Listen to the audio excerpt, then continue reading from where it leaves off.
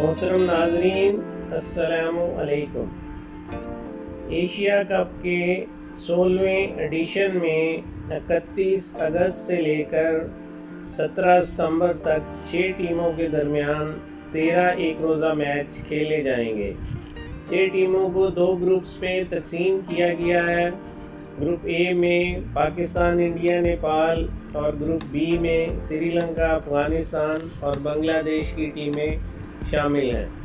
हर team अपने group की दूसरी टीमों से एक एक मैच खेलेगी और हर ग्रुप की two teams super four stage में पहुँच जाएँगी। इसके बाद सुपर फोर स्टेज की टॉप टू टीम्स 17 सितंबर को फाइनल खेलेंगी।